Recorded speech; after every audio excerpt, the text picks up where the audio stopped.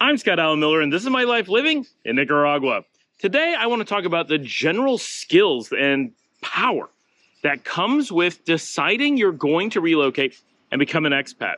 In a recent conversation, someone said, Why do you refer to yourselves as an expat when you're just an immigrant. It's not quite that simple. There's actually a differentiation here, but not one that people normally think about. And there's a huge number of people that we often refer to as immigrants that are also expats. All expats are immigrants, but not all immigrants are expats. So there's a power in being an expat and one that you may want to really think about because it alone could be a good reason for why you want to be one. Let's find out what that is right after the bump.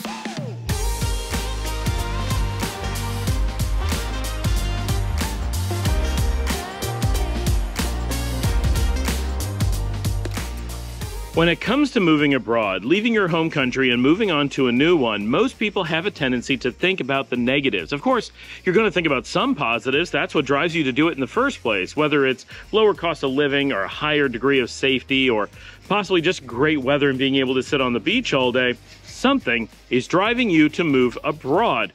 But beyond that, we have a tendency to focus very much on the negatives. The fear starts to grip us, and we say, well, we're going to give up our home country. What things do we lose? And how are we going to be limited by the new place that we're moving to? And those fears may be founded.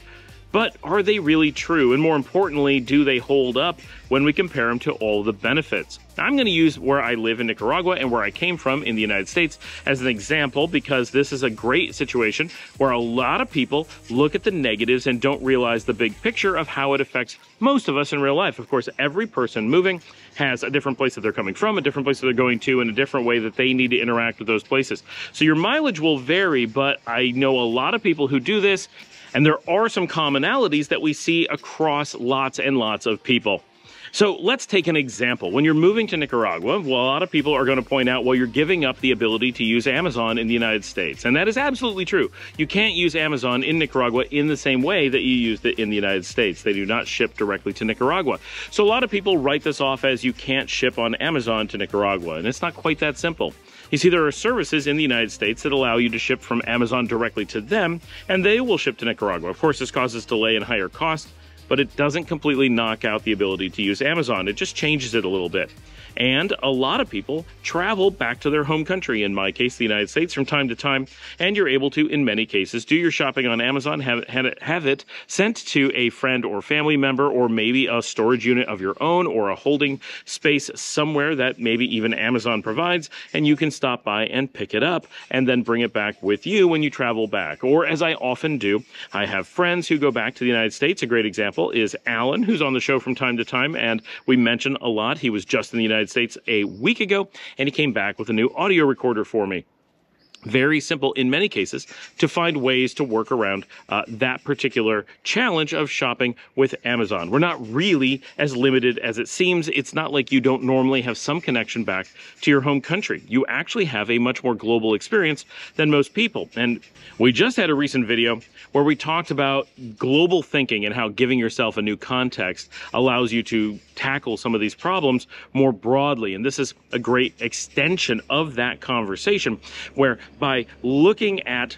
the region, by looking at your global options, by being more flexible, thinking outside the box, another episode we had recently, you can often tackle the things that you want to do being able to shop at good prices and conveniently, and possibly actually do better than you were able to do originally. Now, it's very difficult to compete with the likes of Amazon shipping and living in the United States when it comes to shopping. But when you combine all the ways that you can use Amazon to get products in the US, the local shopping that does exist in Nicaragua, the better ability that we have here to order products from, say, China, for example, the broader availability of products, the lower tariffs, and the more flexible import rules, the ability to simply cross the border into Costa Rica and do our shopping there, our ability to cross the border into Honduras or El Salvador or Guatemala, do our shopping there, or even to fly to Panama, where the selection is pretty incredible. Suddenly you start realizing that what is available in the region is much bigger than you think. In so many cases, the way that things work is simply by looking at the bigger picture and being more flexible in how we approach it. We mentioned extensively the healthcare situation. If you are here in Nicaragua, people will think normally, well, my healthcare options are limited. Even if they are free or low cost and very good, they're still relatively limited. And that's kind of true.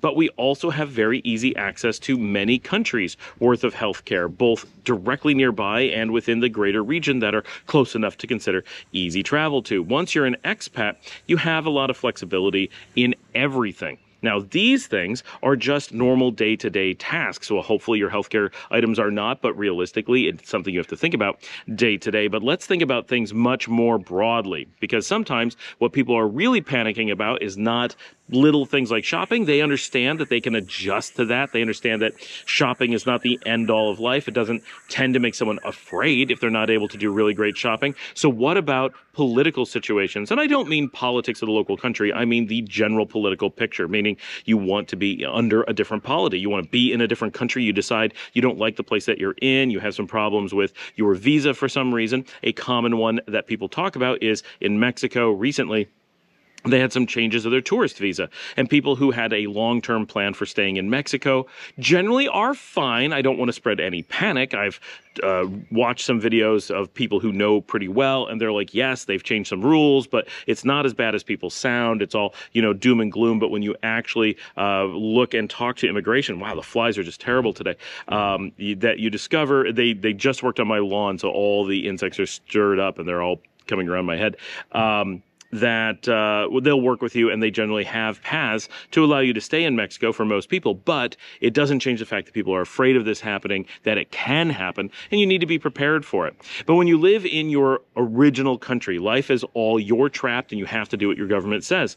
But when you live in Mexico as an expat, for example, and Mexico makes some changes that causes a situation where you need to reconsider living in Mexico. You need to look more broadly. You need to uh, get out or just look at your options. You have those options. As an expat under normal circumstances, you can simply pack up and move on to a different country.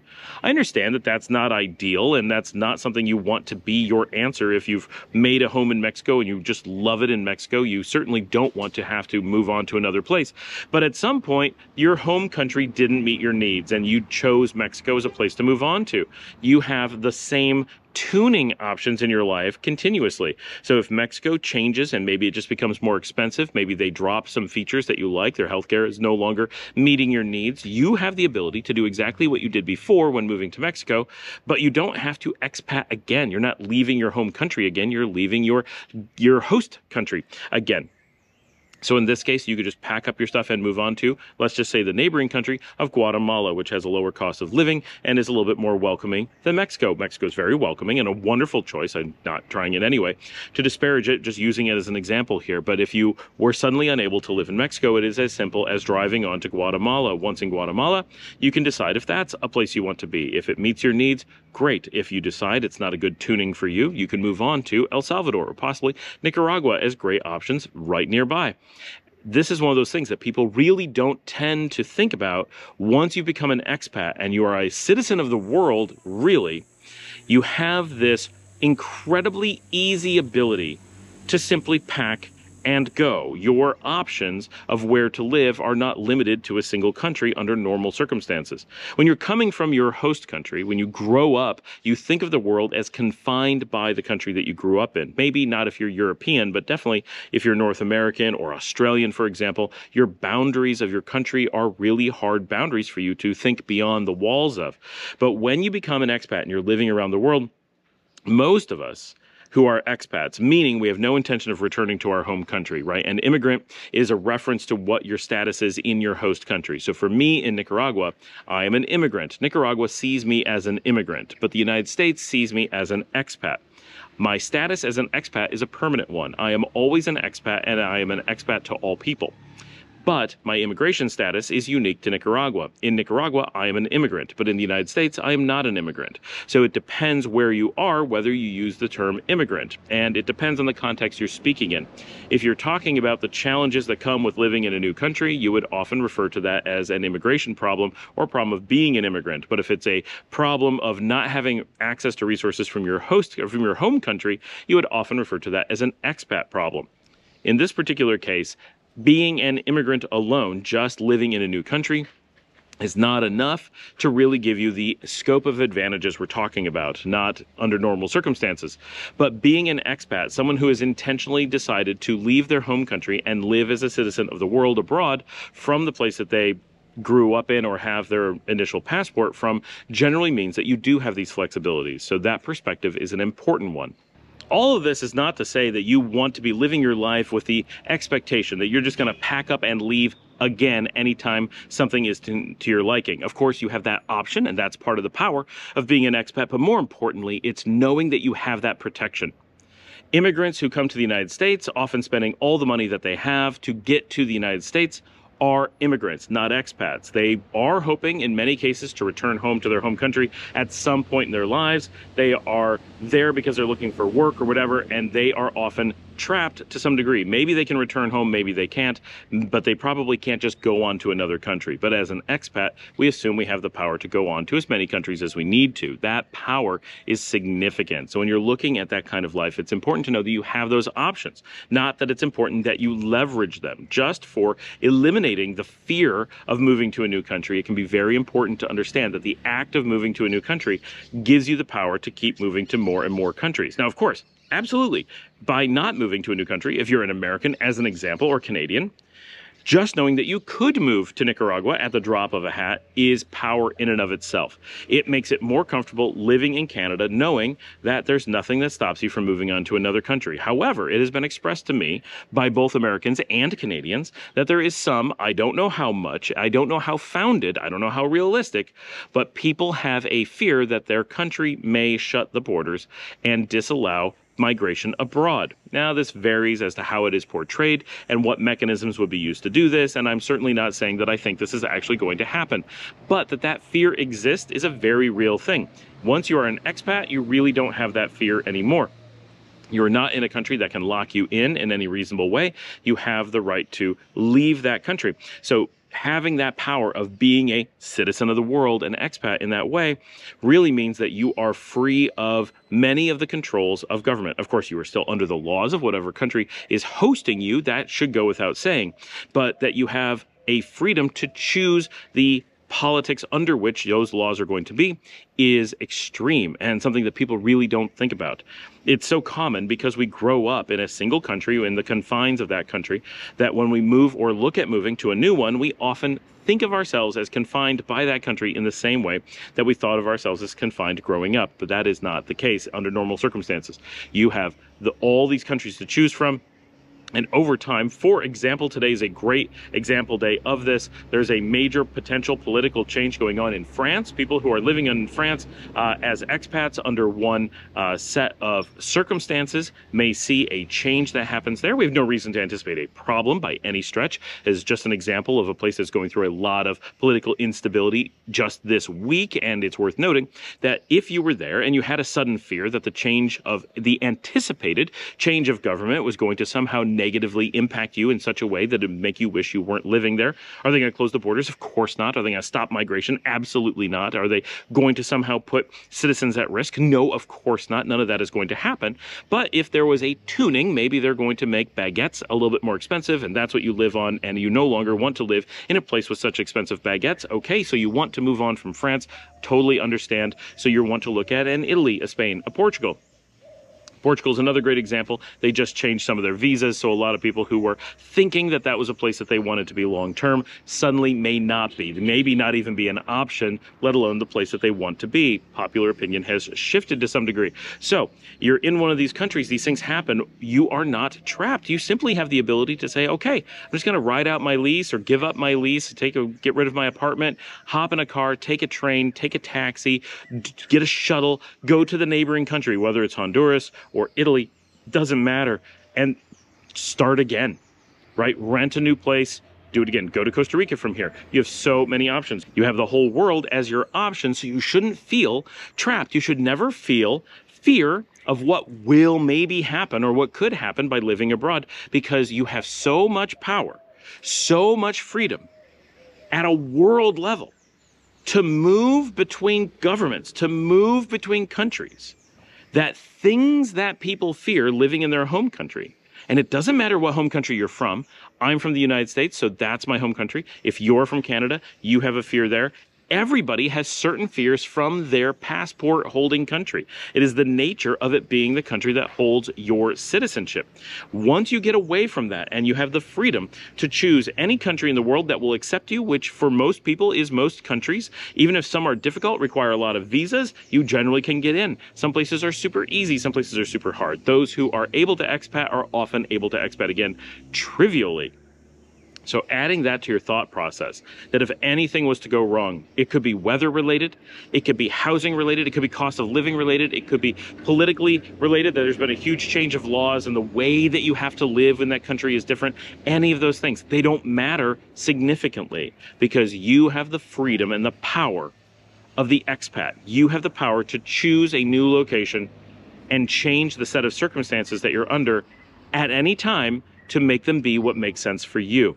That is a really big power, and normal people will never experience it. And most expats will never actually realize that they have this power and think of themselves in that way. But it really does solve so many of the potential fears that people have about moving abroad. And not to mention, of course, that most people can simply choose not to be expats anymore and return to their home country. Obviously, that is normally perfectly fine thing to do. You're not locked into being an expat, but even if you were, you have so many options around the world, so many great places that you could go and investigate and possibly choose that being able to select from them itself, being able to switch which one you choose over time is so powerful, so just enabling to being able to live a better life and to mentally release so much of the stress, knowing that yes, it may be an inconvenience. Yes, you may have to change things that you didn't want to change, but that you're not trapped you're not going to be trapped. You don't have to ever have that thought process. Your thought can always be, I have the freedom and power to move more or less wherever I want. And that's one of the things. Living in Nicaragua, we see people who every day wish they could move somewhere. They don't have that power, whether it's because of their income or because of their visas or and passports uh, or whatever. They just don't have that freedom to go be an expat in that way one of the benefits of being an expat is that freedom. And that is something that I wish everyone in the world had. I wish that it was just universal, but it's not. But you, my audience, almost universally have that. And when you're looking at possibly becoming an expat, it generally means that that power is something you have. And that alone should be a massive motivating factor as to why seriously considering being an active expat should make sense. Thanks for joining me. Like and subscribe. Questions, comments, get down below, of course. If you'd like to support the channel, you can buy me a coffee at buymeacoffee.com slash Scott Alan Miller. As always, share on social media, tell a friend about the show, and I will see all of you tomorrow. And if you would be so kind, click on one of the videos on the screen. And if you don't see one or don't like one, scroll on the side and pick one of the videos that YouTube recommends for you.